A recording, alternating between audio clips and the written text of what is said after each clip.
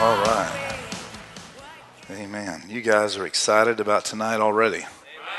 I just want to say one thing about Night of Ministry is that um, whether you whether you receive anything prophetically or not, it, there's something dynamically when we have the place full and people are just going after the heart of God. And I know that where worship belongs to the Lord, I'll always contend for that, always know that. But there's something about also that worship has an effect in us too. When water rushes through the pipe, the pipe can't help but get wet. Some of you deep theologians will figure that out in a minute.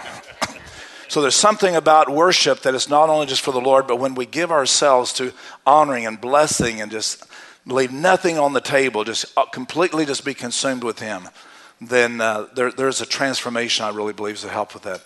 I grew up hearing about that and around that. My first, one of the first books, second book I read, first was Watchman Nee's, which was, man, it was deep. And the second, as, as an 18 year old, was uh, Prison to Praise, Merlin Carothers' book. And my mother told me, said, if you understand this, it'll get you out of any problem. And so I began to realize that you're talking about being in prison, and so how Paul and Silas did and all that. But if you understand and learn how to give yourself to worship, not just singing songs off the screen, that's, that's singing, that's not worship. Worship is the adoration. It's the, that giving one's innermost being and loving the Lord, just disconnecting from all the external stuff, and you're just internalizing how good and how gracious He is. That science has even proven that the endorphins, the melatonins, and oxytocins, and all the other ends on that just makes you feel good and makes you feel better. I was, um, somebody was doing a science thing, and they were saying, um, and they gave some the information I won't go into. And they said, if you'll stand two minutes with your hands lifted straight up every day and praying in tongues, that it rejuvenates you spirit, soul, and body. Well, if you don't pray in tongues, that'd be a good way to start right there.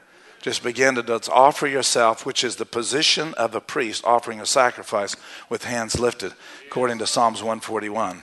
So there's something about finding a, something physically that's so refreshing by being in the presence of the Lord where there's fullness of that much. So I'm excited about tonight, and uh, there'll be people coming from different places. Got some friends from Austin that have come down uh, for for this for this event. So we're believing God. Uh, we never know what'll happen. We just know that it will, and we just suit up and show up and see what God will do from that point. I began sharing last week, and I want to kind of plug a book that's not even here yet. The Power of Right Thinking just came out. In fact, I have just got two copies that for viewer only. They send this off to televisions and, and radios, and it'll be on Sid Roth in March 31st, I think, is when we're doing the shoot for this book. But I, you know, written some other stuff before, but this is the thing that, that has so excited me about this is because, uh, and it connects with what I'm sharing this morning about understanding how the kingdom of God operates. If you, we can change our thinking, how we think about things, we can change every part of our being. Proverbs 23 says, As one thinks in his heart, so is he, or one translation, so he is on his way to becoming. If you think God is against you, then you will be very defensive, paranoid, and backing away from everything he's doing, wondering what to expect next. But if you believe and in your thinking have been transformed in your thinking, know that God is good and He loves you with an everlasting love, then you see everything with everything's going to be good. Everything's going to happen, it's going to turn out good. Even though it may not look like it right now, the end will be good because God is good and I'm in His favor. So it just really gives you an understanding of that. And so I'm not plugging to buy it because you can't right now. Anyway. And so um, there's a portion in there that I'll, I'll, share about this morning as well. Turn with me to Matthew, the 11th chapter. And this is uh, part two, talking about uh, the kingdom of God. And last week we talked about the governing of the kingdom of God. And when you read in Scripture the kingdom of heaven or the kingdom of God, and that's interchangeable, those two terms, is that it really is not just talking about, uh, you know, heaven, waiting till, till heaven comes but it's refer- referring essentially to a way of governing. It's a form of government. Jesus said in John 18 36, and I shared this last week, and I'm going to give you a synopsis, and then we'll move on into this. My kingdom is not of this realm, or less my servants would be standing with me or fighting with me here. By that token, he's saying there is a kingdom, there is an invisible kingdom that we don't see with the natural eyes, but it's as real or more real because it's eternal than the kingdoms of governing that we see the United States, European, Middle Eastern, whatever other governments are. He is the kingdom that shall not find an end. Isaiah 9 says, and is speaking of messianic prophecy, a son is given, and he's saying, and the government shall be upon his shoulders, and to his government there shall be no ending. In other words, a continual ruling that point. Then why not plug into a kingdom or a governing form of governing that is not going to end with a change of a presidency, with a change of a fall of a government, or a change of a currency, or any kind of change like that. And what's good, Jesus even referred to this, and he told us that referred to this when he's saying, the rule and dominion is not of this realm, but there is one that, that does rule and have dominion. And then we find in First John, he says, as he is, speaking of Jesus, as he is, so are we in this present realm or present time. So if we understand that, that we're not waiting to get to heaven for this rulership to begin to take place, it is dominant to right now to those that allow it to be dominant. The word kingdom comes the word basileia, which means a dominion or the, the influence or the stretch of a king. So when he's saying the kingdom of God to us is not just a, an idea, it's not a place, it's not just a spiritual thing, but it's to the level that we, we understand that, that his kingdom is in us and not just around us. And to the level that we allow the dominion of that king have influence over us is to the same level that we have the favor of the king that has influence over us. So when we begin to pray, we're praying from the mindset of a king that is dominant inside of us. And so when we, we talk about the kingdoms of this world, the Bible talks about, Jesus refers to it, the kingdoms of this age or the kingdoms of this world. He's talking about the influences around us. And never before have we had the kind of intensity and pressure and influence on us than we have right now. You know, your kids will say, uh, did they have televisions when you were when you were a kid? No, and we just used tin cans and strings to communicate, you know we rode on rocks. Well, yeah, they did. But the thing is, we don't have the influence it is right now to where continually that there is sensuality, sexuality that sells everything and anything. They'll, they'll use that to sell you on a vacation. It is continually in you to desensitize to where this is normal. And the more you get into the kingdoms of this world, the less domination or the less influence the kingdom of God has on us. Till eventually the new normal is that everybody's doing it and it's okay, to where we, what the Bible calls, and I, I love what we were saying this morning about the fire of God, becomes lukewarm. Lukewarm means there's mixture. Got a little bit of hot, a little bit of cold. I haven't totally backslidden, but I don't feel as strong about the presence of God as I once did. He's just there. He figures into my life in a, in a kind of a compartmentalized thought. But with the understanding where that, that the kingdom of God, when Jesus said, If I by the hand of God have cast out Satan, then he said, The kingdom of God has come to you. So Jesus gives us one understanding the kingdom of God is a demonstration and power of this king. And he said, This is the real normal thing. It's not abnormal when you see someone get healed, it is the normal. We just need to get used to the new normal and have less influence of the domination of the kingdoms of this world. And so how we begin to do that is first of all is you have to press in and set your heart and your affection on things above, not on things in the earth.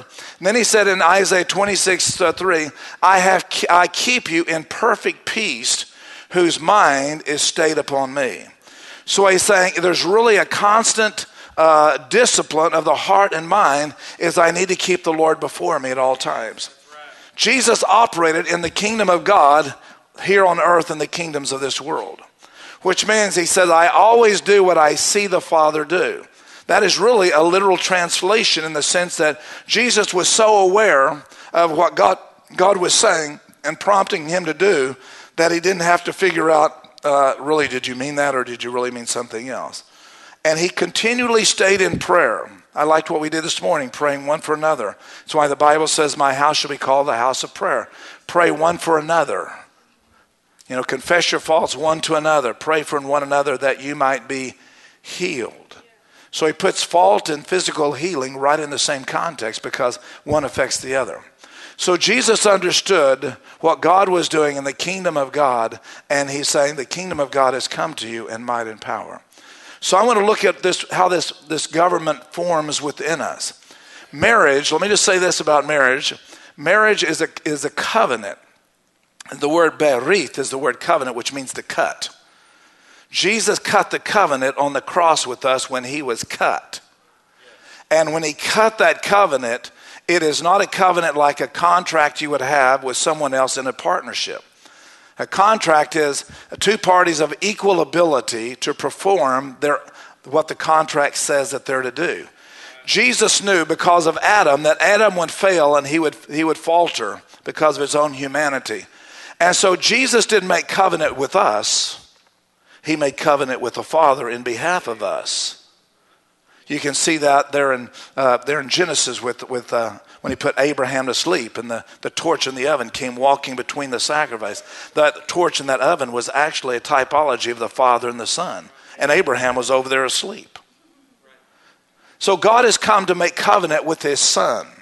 So he says, when we allow this king to rule and govern inside of us, there is a covenantal right that the son has with the father.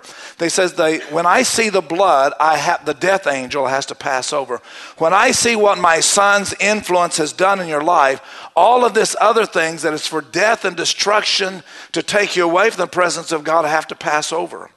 But for everybody that was outside of the house, though there was blood on the over the house, there in Exodus 12 those outside the house did not have the favor or the covenanting of that covenant. It's not enough just to believe in Him, you have to walk in Him and you have to stay in Him. By doing so, we understand that He says, I'll rebuke the devourer for your sakes because I have covenant with my Father. All right, look with me at 11, Matthew, the 11th chapter. And Jesus, you've heard me say this uh, probably over the, the past number of years at various times. Let's pick it up in um, Matthew 11 chapter and verse 11. Jesus is giving a tremendous compliment to John the Baptist. Now, if you went back to Matthew, the third chapter, you would see where 400 years of silence had, had between Malachi and the New Testament was roughly 400 years.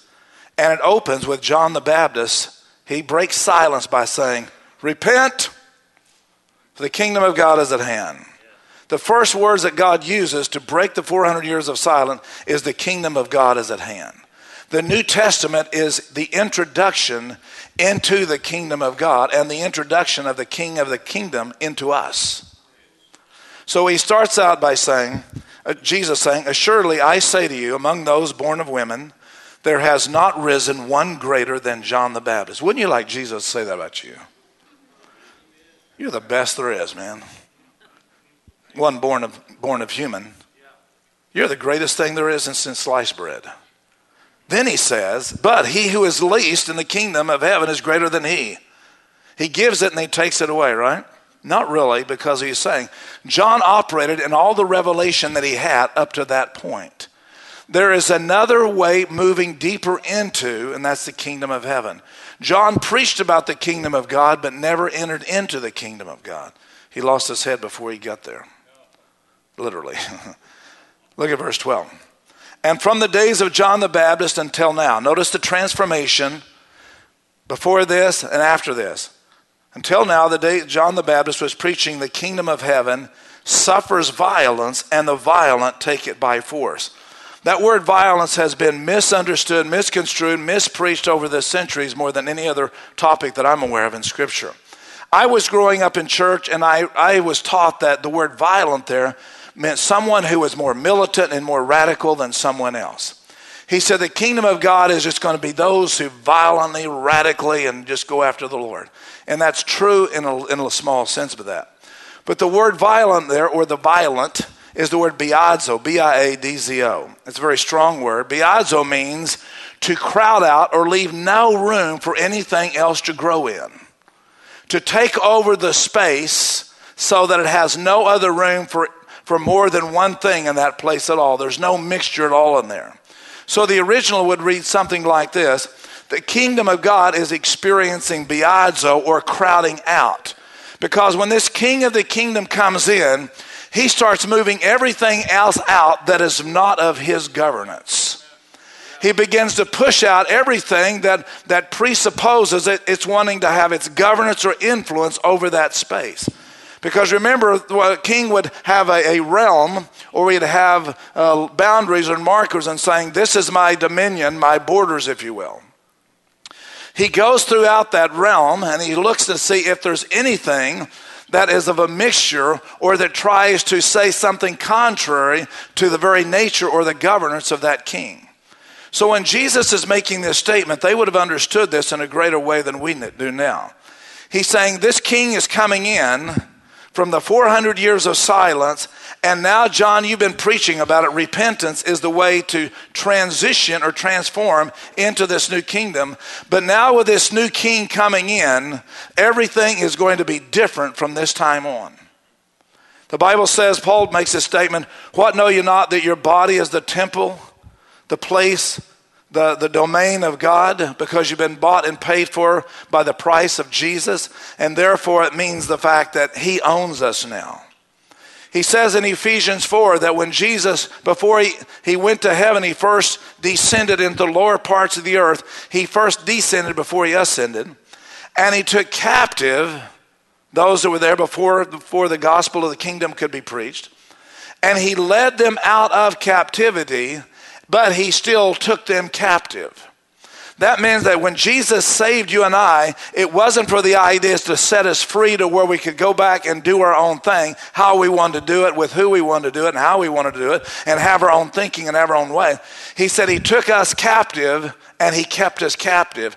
And now we're captivated by Him. It is a love slave relationship in such a way that I love Him so much that I don't want any other one governing over my life. I don't even want me governing over me because God knows what I'd do with that. So, what he is saying is, I've come to crowd out all of the thoughts that I didn't place there. I've come to crowd out all the other gods that, are, that, uh, that we've placed in our life to crowd out. And there's a war going on inside.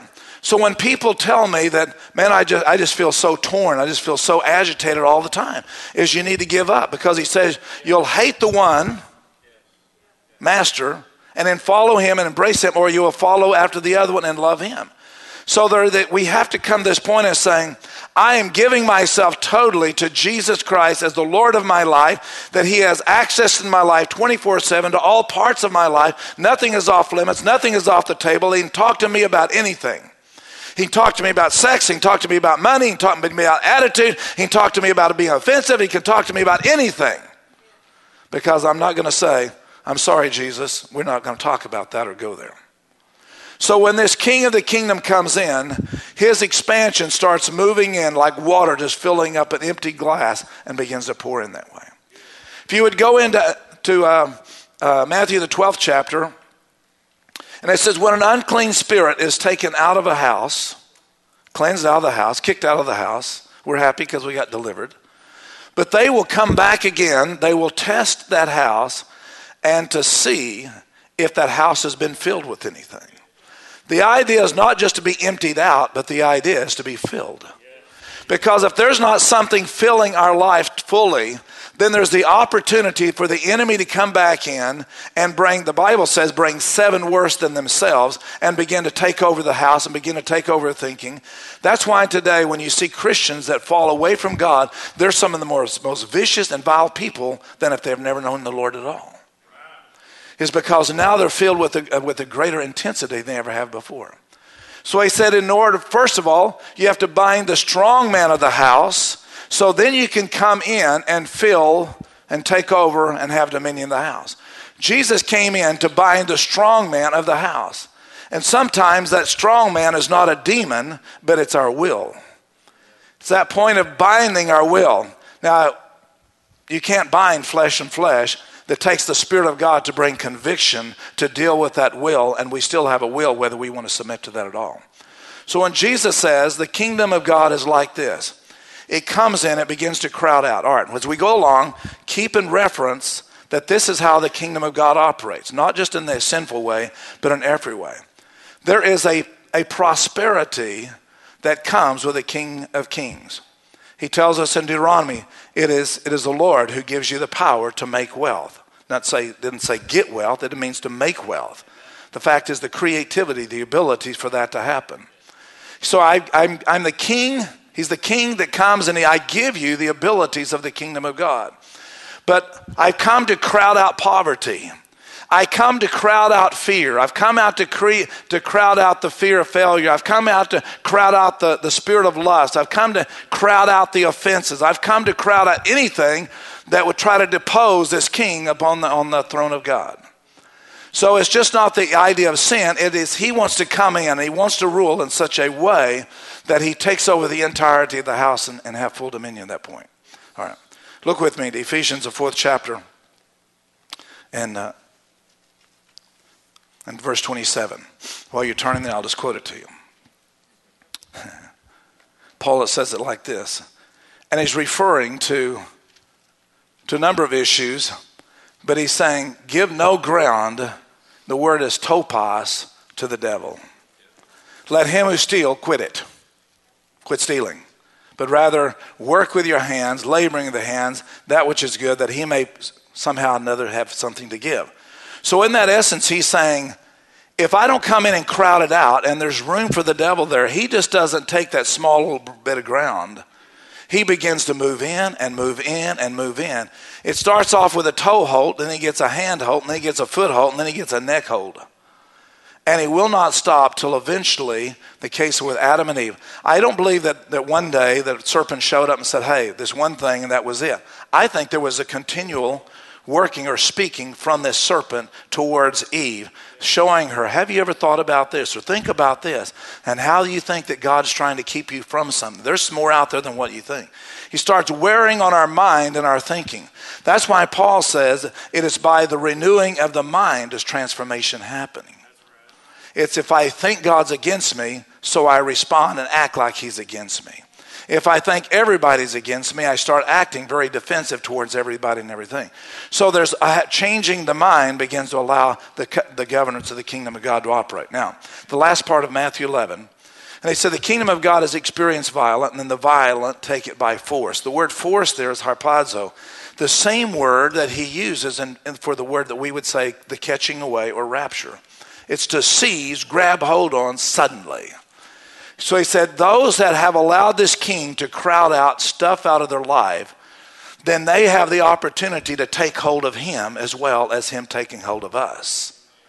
I am pursuing him, but now I've, I've grabbed a hold of him. And that's why the, the, the Bible teaches in, the, in Luke, the ninth chapter, about verse 62 or so, he says, No man who puts his hand to the plow and looks back is fit for the kingdom of God.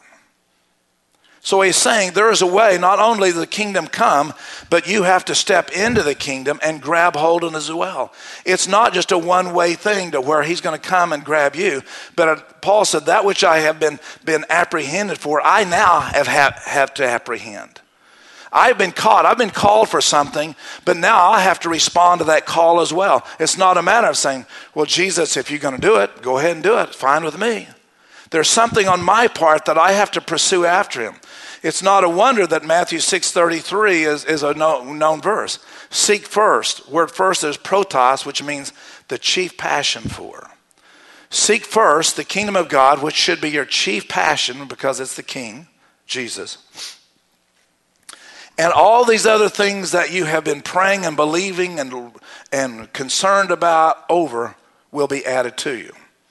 But most of us, we start seeking the stuff and we have never had a relationship with the kingdom, king of the kingdom. So the priorities get out of order, but they're saying so the, seek first to prioritize the kingdom of God, the chief passion, which is the protos, first the kingdom of God.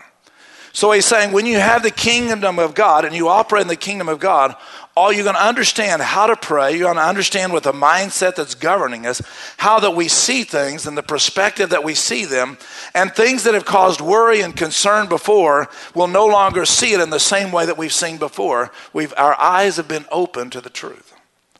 I was in uh, North Richland Hills, uh, a place uh, there in Dallas, and this last week, and and it's a, a home, back to a home group leaders, uh, some group of leaders there, and I was just sharing about um, having transformed thinking.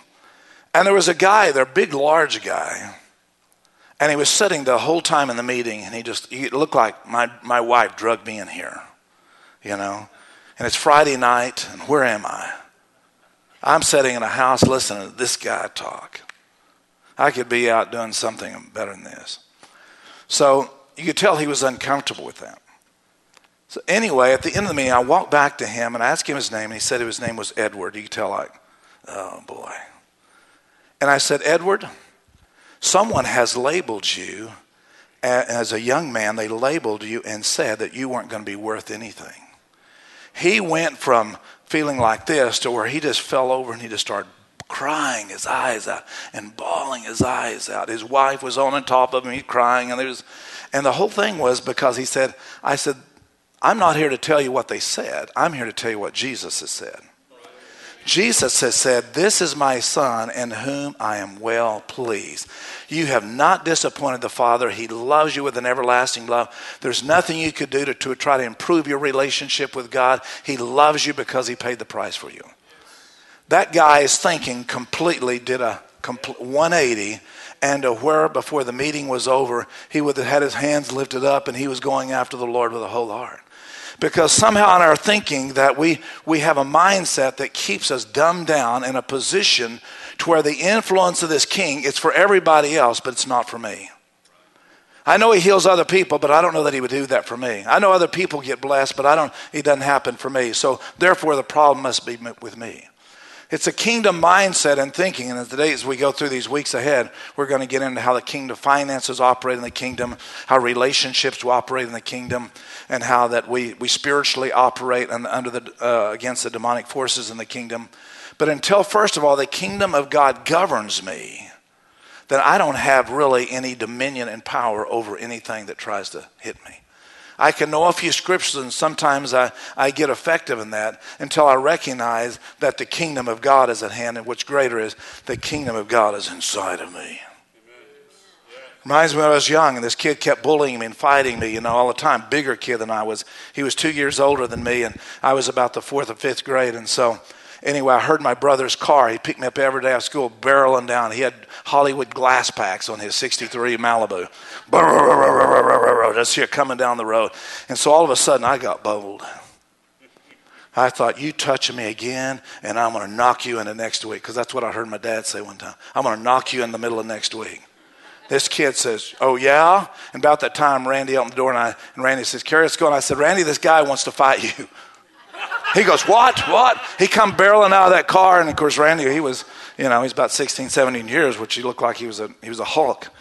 And so he came out of there and he, he grabbed this kid by the shoulder and he said, If you ever say another bad word to my brother, I'm going to come and find you wherever you are. You hear me? Never heard from the kid again. He never even come on that side of the school again. Greater is he. That's inside of you. And I hear my brother's voice many times in my head today. Jesus is inside of you saying, I'm willing to stand up for you. But the, the influence that I have on the inside of you must be to the point that you know that I'm with you and not just in crisis seasons. I'm just not going to pull you out of the fire every, every year or so. I want to walk with you in such an intimacy and a level of communion and fellowship so that you'll never get into that position. I want to be preventative and not just proactive in that sense of that word. Okay. Turn with me to, to Hebrews 11th chapter. Second key of the kingdom of God. First one is, is governing, how he rules, having rule, ruled in. The second is that the kingdom of God operates from a principle of substance. Hebrews, the 11th chapter, and verse 1, that you know it well, says, Now faith, the word faith, pistos, which means it's an action term. It doesn't mean cognitive thinking, I believe in my mind. It means I've believed it, but now I'm acting on it. Faith is the responsive to what I've believed.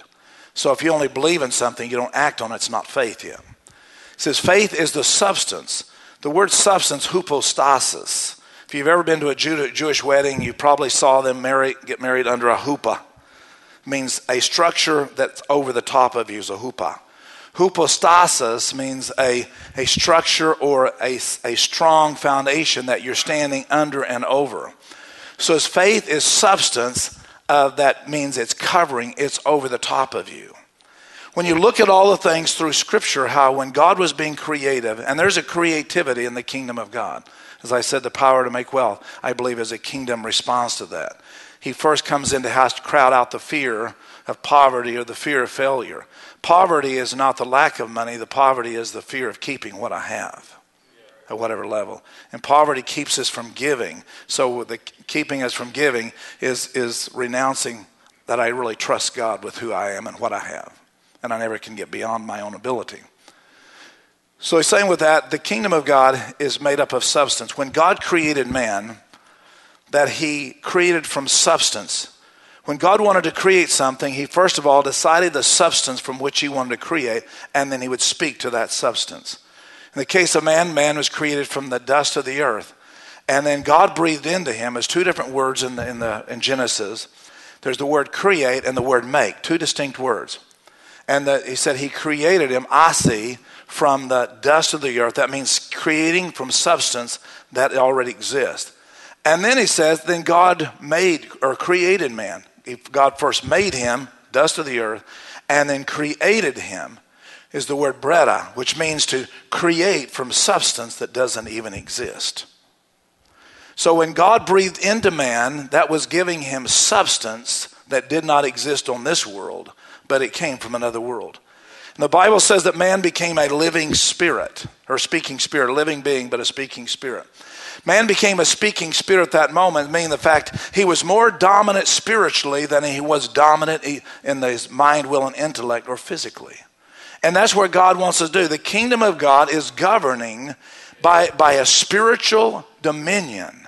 That's why he says the kingdom of God does, doesn't come by you observing. You can't see it. It's not like a castle and a king and the, the king's castle's over there. Because he said the kingdom of God is within you. So that means it's internal governance of this king. And when this governance is inside of us, then he makes available to us principles and keys of the kingdom of God. If I had time, I'd take you through testimony, several testimonies financially, and I'll, I probably will in days ahead, where Diane and I took the Bible at its, at its very, what it says its word, and began to see it come back. It works. It works in, in a dynamically way. So, with this understanding, he's saying that there's substance. What kind of substance do we give the Lord for him to work with? We pray and then we give God nothing to work with. God, you do it. Jesus said, When the Son of Man returns, will he find faith, substantive action on the earth? God, you do it. Well, give me something to work with. When Jesus was in there in John the second chapter, and Jesus attended the first the wedding at Cana, it was his first miracle there. I don't know that Jesus purposely uh, went there for the miracle. It didn't appear that he was planning on doing a miracle, but we have to understand that he knew what God wanted to do he comes to the wedding, and somewhere in the middle of the wedding, the wine gives out, which is a bad thing for a Jewish wedding. And so they understood that it was a cultural issue, that it was. Uh, uh, it, it, made the host family look very bad and look very unprepared that they didn't care about their guests. You've invited me to a celebration and you didn't prepare for me. So there was an issue involved there. His mother comes to him and he said, Son, uh, we're out of wine here. And he makes this statement back to her that sounds very callous. He said, What do I have to do with you? Which is very poor language in, in the English, but he said, What is it that you want me to do? And she said, Well, we don't have any wine. And he said, My time is not yet. In other words, it's not my time to do a miracle. What would change Jesus' mind? I, I, I know without any doubt that he wanted to do it, but the new covenant had not been ratified, had not been brought into that. What is it that you want me to do? But then she said to him, instead of saying to, you know, listening to Jesus like, my time's not yet, like, I don't pay attention to that. Nonetheless, whatever he says to you, go do it. She moved from being told, no, I can't, to all of a sudden, faith moves beyond the realm of possibilities and says, whatever he's going to say to you, if you do it, it'll be done.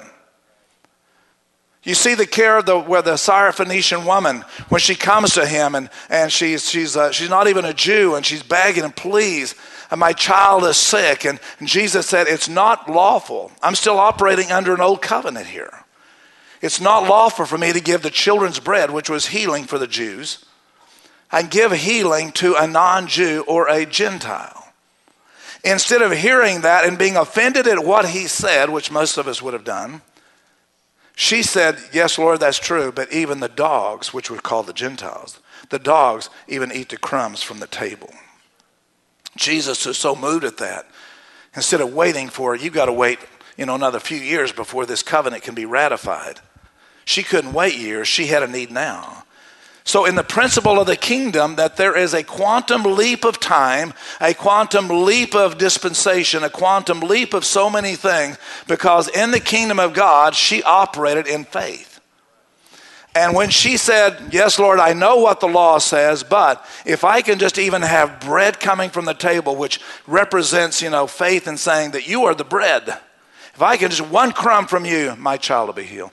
And Jesus said, I haven't seen faith like this in all the earth. Go, your child is healed.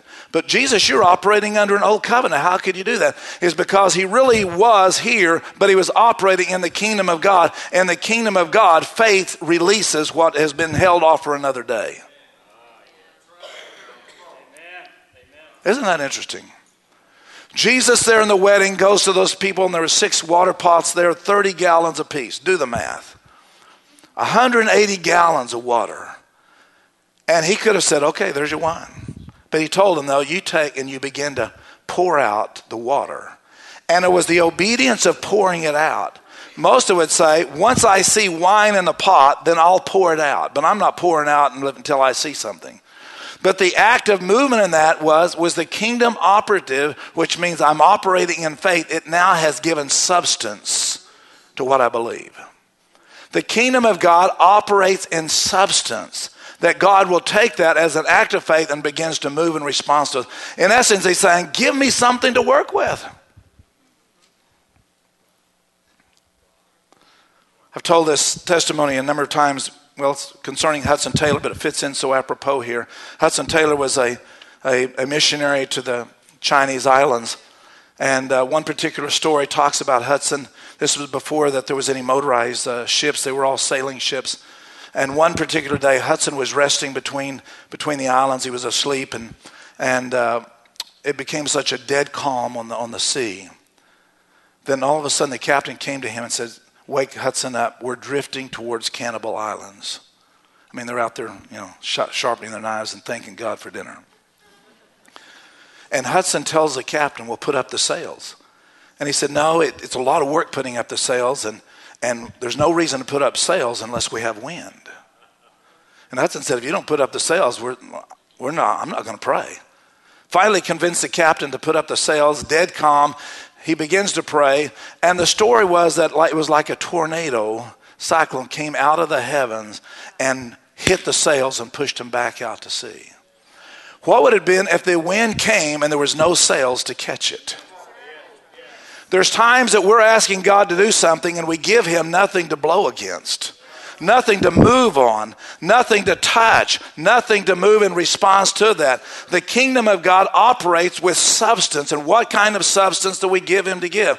Whatever substance you sow is out of that substance you will reap. So, in essence, is if you financially give, that is a substance that there's a reaping financially out of that. If you give kindness and mercy and you give, you give people, you know, a smile, then there's something out of that that's also sown. It is substance to the kingdom of God. Now, faith is a substance of things hoped for, the evidence. The fact that you operate in substance, substance is evidence of what's not seen. Faith is not blind, it has evidence. There's evidence that you have faith because of what you did in response to. You're here this morning because that is evidence that you believe that there is a living God. That's evidence. And thus you live your life in such a way that's an evidence or substance that I believe that what he said he was doing, that one day he's going to come back for me and take me out of here.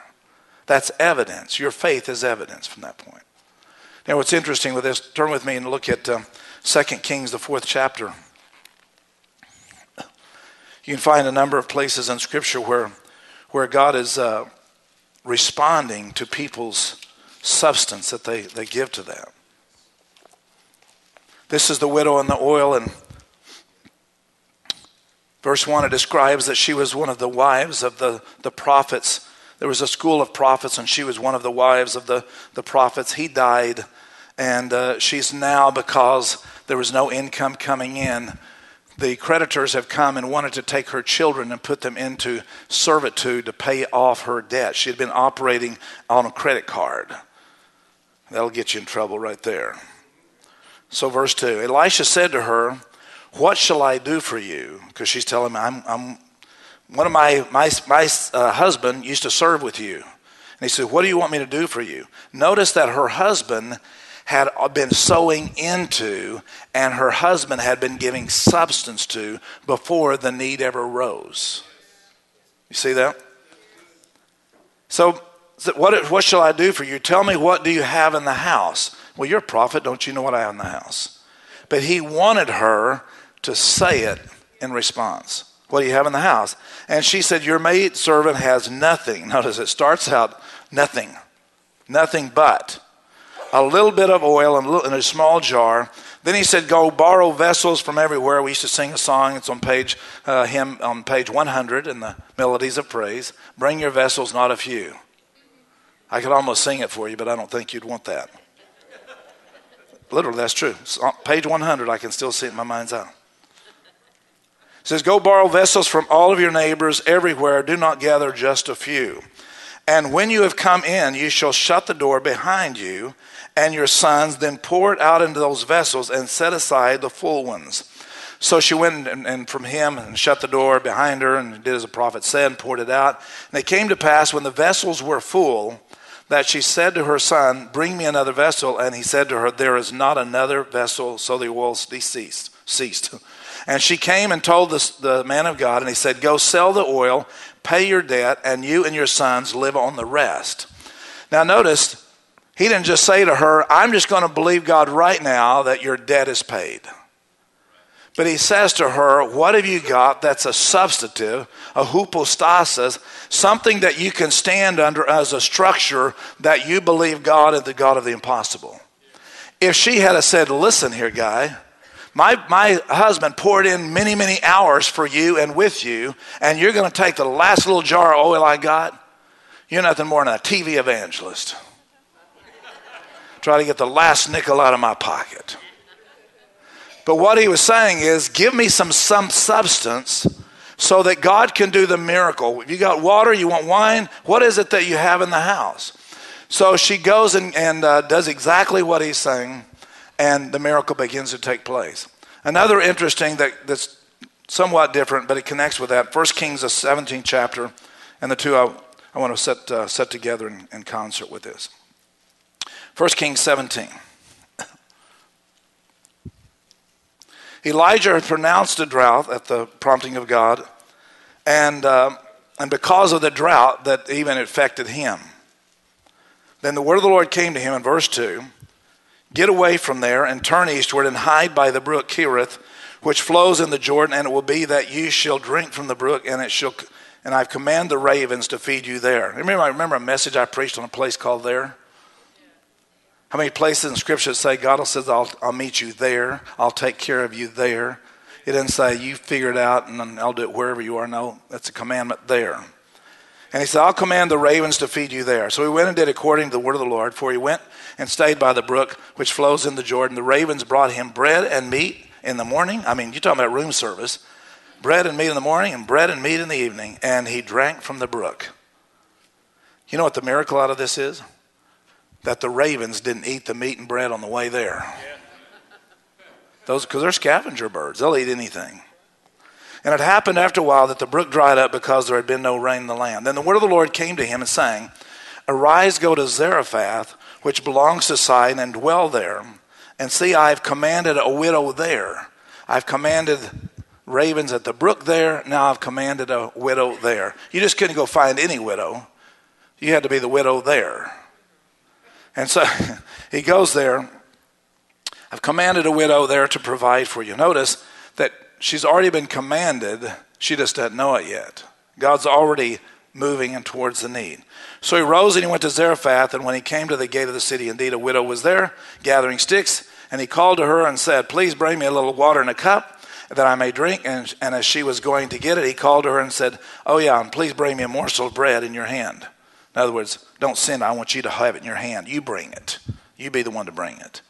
So she said, As the Lord God lives, I do not have bread, only a handful of flour in a bin and a little oil in a jar. And see, I'm gathering a couple of sticks here that I may go in and prepare it for myself and my son. We may eat and die. What, there's a good confession. Elijah said to her, Do not fear and go and do as you have said, but make me a small cake for it. In other words, you know, if you're going to die, you don't need the cake anyway, so go ahead and make it for me. Bring it to me, and afterwards, make some bread for yourself and your son. She's like, You don't get it. There's just enough for one. There's not going to be enough for me left over. Again, substance. What is the substance that we're giving to the Lord? For thus says the Lord God of Israel The bin of your flour shall not be used up, nor shall the jar of oil run dry until the day the Lord sends rain on the earth. God seems like He likes to take something, the very thing that we make available to Him is what we don't have a lot of fullness of. I got some rocks in my backyard. You want those? I'll be tough to get rid of them, but I'll be glad to have them. No, it has no value. He wants something that has a value to us and with us. And with that, with that substance, faith is a substance of what I'm hoping for. If I'm hoping to die, then that substance is, doesn't have any faith in it.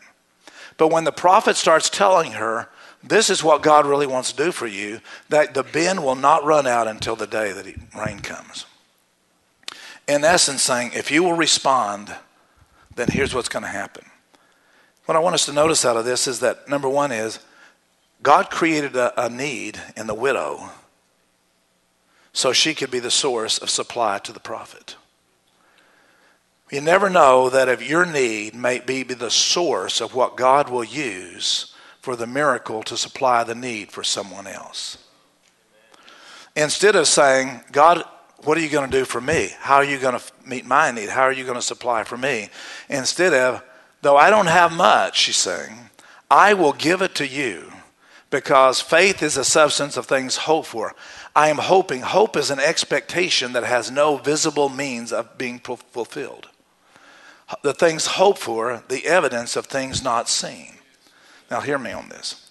Complaining is the governing of the evil one. Complaining is saying to God, You haven't done a very good job of taking care of me. Why is it always this? Why do I always have fallen problem? Why does it always have to be me? Why is it always I'm the last one in line? Be at the airport, and until I, I, I was complaining about this so much, I said, whatever line I, I get in is going to be the, the longest and the slowest line. So I just said, well, it's just prophetic. That's the way it is. I can't help it. Then I realized it's because I got what I complained. That which I feared came on me. And so I stood saying, Lord, I thank you that whatever line I get in, I'm going to be a blessing to every person I'm in the line with. The next time was that the line was shorter. It was short. I said, oh, the devil just doesn't want me to get close to somebody. Which wasn't really a truth, but it just made sense to me. So it happened the more that you're thankful to the Lord for whatever condition, state that you're in, give thanks to Him because that says to Him, God, you're able to supply all my needs according to your riches, not according to someone else's sensitivity about me. I like what Pastor Olin he uses a term they use as a trooper. He says, dragging your sack. I asked him one day, I said, What does that mean, dragging your sack? He said, You know what that means? I said, No. He said, If you ever went up and told somebody, he said, Boy, that's a nice looking shirt or jacket you got on. Wish I had one like that. I can't afford it though. I guess, you know, you probably can, but I can't afford that. You know, and you say, oh, well, I just have to take what I have. That's dragging your sack, hinting that I want you to be the source of giving me what you have. What it's saying is, God, I don't trust you to do it for me. I'm going to figure a way to manipulate it and make it happen for myself. sure, getting quiet. I don't want to drag my sack around and say, God doesn't take care of me. When, as the neighborhood I grew up in, there was a lady, she lived, she was by herself, never married. She ran a little ticket booth down at the down at the uh, amusement park. Most of you have gone through Amarillo, you've gone through the amusement park, you've seen it. Her name was Miss Mike Sell. Mike Sell. She always had cookies. And so I would go on up the on the door and I knock. And her, she had shutters on that. It was all shut up. Nobody even she looked like she was shut up inside there. And she would come and she said, Yes. And I said, I haven't eaten in three days. Do you have any cookies for me? And she'd bring a plate out and, and she said, How many do you want? Well, I got two pockets. So I put two in each pocket and go off. And she said, Hold on, where do you live? Right there. I said, I know your parents. Do you want me to let talk to them and see about why you're so hungry? No, no, no, no, no, no. They'll be home after a while and I'll get plenty to eat later, but right now I'm hungry. what we're saying is you have brought a bad report towards your parents. Well, somewhere down the line, I don't know how it happened, my brother or sister told mom and dad that I was going next door begging. And man, did I ever get a talking to. No son of mine is begging. You got plenty to eat here. You got everything you need. Do you know what that makes me look like? Well, made me fool that moment anyway. When we complain against God, what we're saying is to, to the spirit world, God, you haven't done a very good job of providing for me, so I'm just going to take it on myself to make it happen anyway. The kingdom of God is a multifaceted, business oriented, spirit filled oriented, faith filled oriented. And so those who enter into the kingdom of God do it through faith. Now, here's what's interesting John preached about the kingdom and never entered into the kingdom. Do I believe John's in heaven? Yes. It's possible to see the kingdom and never enter into it because it's not about your name being written in the book of life. It's about operating here on the earth under the favor of the king and under the authority of who he is. Everything we do, it says, I'm trusting him or I'm not trusting him. Trust is the biggest factor and issue of that. One time, uh, I had, there was another place in town that was giving food out, you know, and they came to me and and uh, they wanted to see what we were doing here in Love and Deed and so on.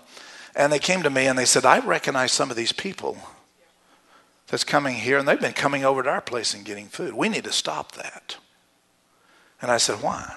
He said, Don't you know they're taking advantage of you? And I said, I've never been taken advantage of in my life. And he goes, Oh, come on, Pastor, you that's a stretch. I know you have. We all have. I said, No.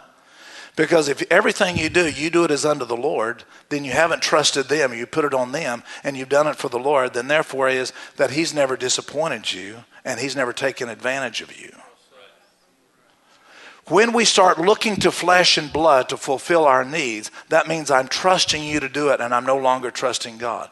And somewhere down the line, you will find people to disappoint you. I even disappoint me. I'm disappointed in myself sometimes. That's why I don't look in the mirror all that much. So when we get disappointed, what we're saying is, my trust is in flesh and blood instead of looking to you. When you look in Luke the 15th chapter, the prodigal son was that the elder brother who was there all the time was so upset because of, of the, his father's mercy towards this prodigal, this son that had gone away. And the father says to him, Why are you so upset, this elder brother? You've never thrown a party for me. This elder brother did not understand how the kingdom of his father operated. He said, It's everything here is yours. You could have had a party anytime you wanted it. But then you get so frustrated because you have looked at your brother, your elder brother, one who was dead but now has come alive. Why should I not rejoice? It's mine to give. But it's all, uh, any, any point in time, you could have delighted in enjoying that because you didn't realize who you had, who your father was you operated under a slavery mentality to him, though you were a son. but you acted like you were an orphan son. The kingdom of God is such to where that we he'll supply all of our needs according to his riches in glory. His riches are operating in the kingdom of God. They're there. I just need to plug into the kingdom of God. I just need to look to Him, the author and the finisher of my faith, and not look to someone else to be the faith for me. Will you pray and, that and see if God will do something for, for me because of you? No. He loves you and He wants you to come to Him and know who He is and out of that response to that. So He's, he's, he's giving us understanding of how that we can move beyond what we see on the secular outside and step onto the inside. Now, two last things. I'm done. Something to look forward to. When Matthew, the 13th chapter, when Jesus is talking about the parable of the sower and the seed, and I'll get into more of this in the weeks to come, he said, first of all, he calls it the mysteries of the kingdom of God. Because it didn't make sense in the natural mind, so he said, I had to bring it down to something that you see every day and boil it down to a natural concept to give you an understanding of the spiritual concept. He said, depending on where the seed fell, is depending upon what is the return. It's, there's nothing wrong with the seed. 2 Corinthians 9 said God gives seed to the sower. So that means anyone that's willing to sow, you've already have seed. You just may not recognize that it's seed. And when you take that seed and he went out and he broadcast it anywhere, some of it fell upon hard ground, some of it fell on ground that, that didn't get into the, the earth much, and the fowls of the air, demonic spirits is the translation there, and they've taken and pulled it out of him. The Bible said immediately when the word of God is sown, the devil comes and tries to steal it, try to take it out. He said, but there's some that fall on good ground and it, and it brings forth 30, 60, 100 fold. So, with that understanding, he's saying, if your heart can receive this and allow what I he'll plant within you, it reproduces after its own kind. But it just doesn't re- reproduce a seed to a seed, it produces a seed to many seeds. It is multipli- multiplicated. It's kind of a conjunctive between complicated and multiplied. It's multiplicated. It's reciprocity, if you want a better word for it. And then he, he begins to explain the kingdom of God operates like this that you can't operate with your thinking in terms of this, or I just go do it. But my heart has to be right in response to that. And in doing so, then I can see the kingdom of God moving and operating in the same way. Here's the last thing. Romans 12:1. Here's the big substance. Present your bodies a living sacrifice that is holy and acceptable unto God, which is your reasonable expectation of worship is one translation. The biggest substance that God wants more than anything else is you and I present yourself. I can't present Pastor Jim. Here, take him. You can have him. I got it. so what happens is that in the kingdom of God is that he's saying, present yourself before God. And by doing so, you become the substance that God originally created, and now we're giving Him back the substance for which He created. And we're saying, is, I belong to you totally. Not just every once in a while. Not just on good occasions. I'm happy when things are good, but I'm going to be happy when things are not happy. And I always judge myself. I can judge myself in this way. Worship for me is the barometer of what's going on inside. If I am as intense with worship as I once was, then that means that I'm, I'm not a fair weather friend for God. Even when things are chaotic on the outside, I'm still going to be honoring and blessing Him and showing forth everything on the outside and worshiping and honoring with intensity and presence of God going after Him. Because I'm telling you, you can't bargain with God, you can't pout with God. Say, God, I tell you, I, I worshiped you and I was strong with you, and now you, you, you haven't done what I wanted you to do, so therefore, you know what? I'm just going to hang back a little bit. I'll just show you. Well, God is not a man like you and I that you can manipulate. God is a spirit. And he looks upon the heart, he looks upon the issues, and we can't bargain him out of anything. When simply saying, then I'm going to leave you alone, set you over here, haven't forsaken you, but I'm just going to let you until the Holy Spirit can work inside of you. if we could understand that there's nothing impossible to them that believe, believe what? Believe the kingdom of God is at hand. It gives us such a confidence knowing that whatsoever you bound on earth, it's already been bound there. Then it's already, it can be bound here because of greater is he that's within you. You are substance. So, well, I don't have this, I don't have this, I don't have this, I don't have that. You have you. And Jesus didn't come and die for your stuff, He died for you. You're not taking your stuff to heaven, He's taking you. The real you is not what you see in the mirror, the real you is that spirit part of you inside that He wants to commune with. Stand with me if you would. Father, we're thankful that uh, you, you give us eyes to see beyond the natural realm and beyond